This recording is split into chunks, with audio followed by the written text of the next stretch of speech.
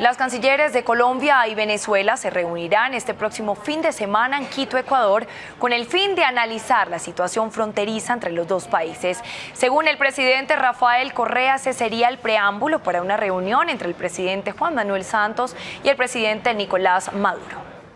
Ecuador media entre los presidentes de Colombia, Juan Manuel Santos, y de Venezuela, Nicolás Maduro, con gestiones dirigidas a acercar en cuestión de horas a los dos mandatarios, distanciados desde el pasado 21 de agosto cuando Maduro anunció el cierre de la frontera por presencia de grupos de paramilitares en su país e incremento de contrabando. El presidente de Ecuador, Rafael Correa, designó a su canciller Ricardo Patiño para esta tarea. Por pedido de, del presidente Rafael Correa para contribuir y apoyar el trabajo de la Cancillería de Javier eh, respecto a la situación que está viviendo nuestros dos hermanos países de Venezuela y de Colombia. Ayer estuvo aquí el canciller ecuatoriano, anoche en Cartagena. Venía a solicitarme si yo estaría dispuesto a abrir algún diálogo con Venezuela por supuesto, que yo nunca había cerrado esa puerta, que todo lo contrario, he venido insistiendo en un diálogo, en un diálogo respetuoso. Ecuador logró además una reunión entre las cancilleres de los dos países este fin de semana en Quito.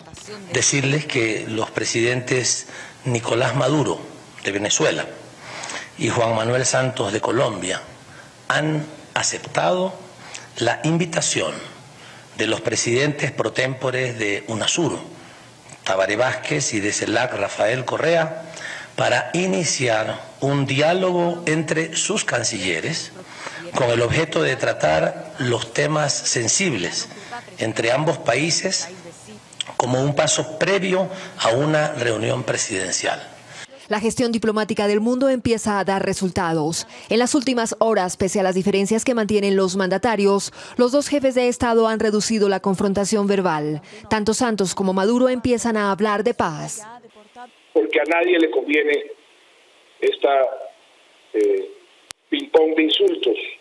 Yo decía ayer, yo tengo un radar en relaciones exteriores, la diplomacia, el diálogo, firmeza, prudencia, sensatez, diálogo, con esos principios, sin insultos, sin agresiones, sin mentiras, estoy totalmente dispuesto a ver cómo podemos convivir, como hemos podido convivir durante estos últimos 13 años. Es momento de actuar y de sentarnos, pero yo propongo desde ya que se trabaje en las cancillerías para que el presidente Santos y yo firmemos un pacto de paz, convivencia y coexistencia de modelos políticos, económicos y humanos entre Colombia y Venezuela. Organización de las Naciones Unidas, Organización de los Estados Americanos, UNASUR e independientemente los gobiernos de Estados Unidos, Brasil, Argentina, Uruguay, Ecuador y el Papa Francisco trabajan por el fin de la crisis en las relaciones colombo-venezolanas.